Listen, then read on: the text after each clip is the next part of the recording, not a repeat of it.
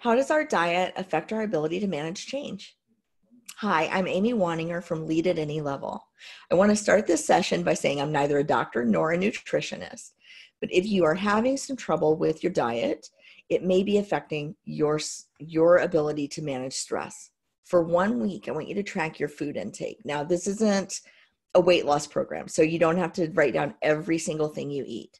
But I do want you to be mindful of are you eating breakfast, lunch, dinner?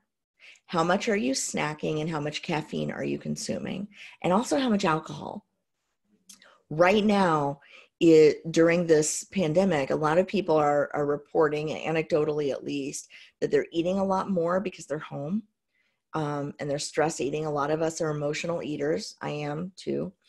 Um, that we're not eating the right things because it's so much easier to eat junk food right now than it is to, you know, have fresh fruits and vegetables on hand when we can't go to the stores frequently. Um, but also that people are consuming more alcohol than they normally do. And I know a lot of people say, well, you know, there's nowhere to go. Why not? But alcohol really does diminish your body's ability to deal with stress.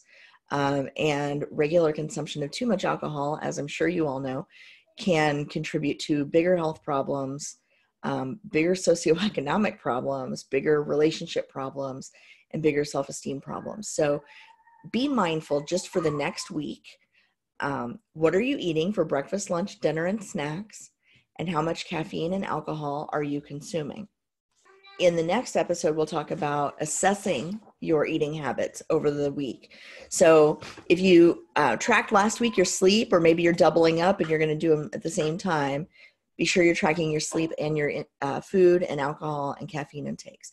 Those are going to be really important. Here's the thing when we're stressed, our body's using all kinds of resources.